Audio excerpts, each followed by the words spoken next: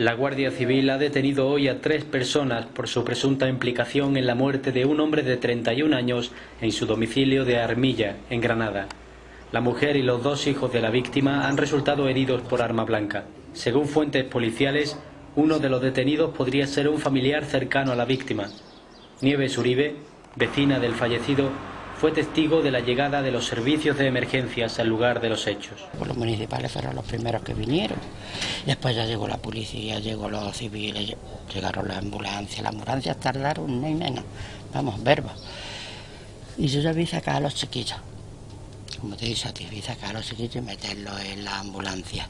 Y ella no quería irse, decía que no, que primero subía a su marido, a su marido.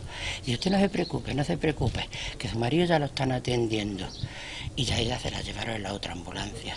Y ya el médico entró y dice, no, si es esta cadáver.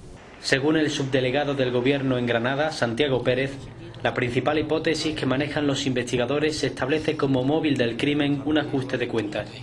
No obstante, otras líneas de investigación permanecen también abiertas.